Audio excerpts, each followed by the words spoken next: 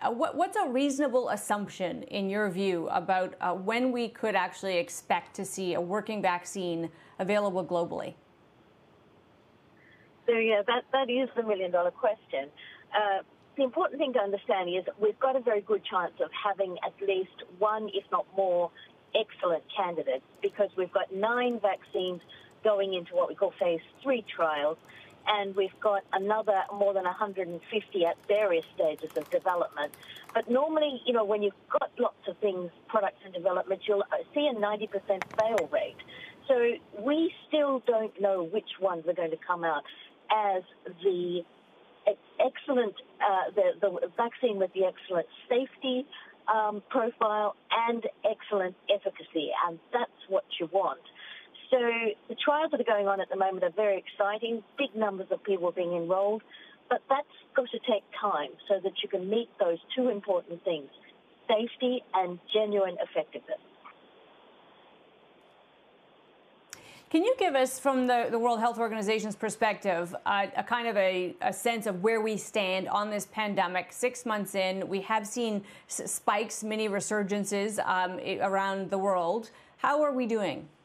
Oh, I feel like we may have just lost uh, Dr. Harris from the World Health Organization. Uh, we will try Hello? to okay. get her back. Uh, and of course, Vonnie, this is really the big question. We have seen a resurgence in COVID 19 uh, around the world, uh, and definitely in, uh, in the Canadian market. Um, I'm actually a little bit concerned here that I didn't just lose Dr. Harris, that I've lost my connection to the studio. If that's the case, I'm going to hand this over to you, Vonnie. Amanda, well, that is the WHO Communications Officer, Dr. Margaret Harris. And of course, it's coming on the heels of the news that JP Morgan has sent some of its traders home from its equity trading floor because uh, an employee tested positive.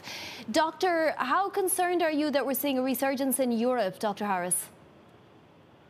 We are very concerned because we have said over and over again, this isn't a virus that goes away. This is a virus that we must suppress by what we do. And but I mean we, every person on this planet, has to adopt different behaviors that will stop the virus transmitting from person to person.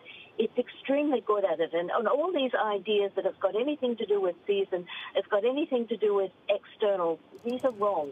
It's up to us. We have to avoid close contact, we have to avoid crowded areas, and we have to avoid closed spaces with poor ventilation.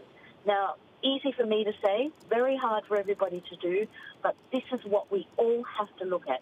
How can we live that way to stop this virus from transmitting?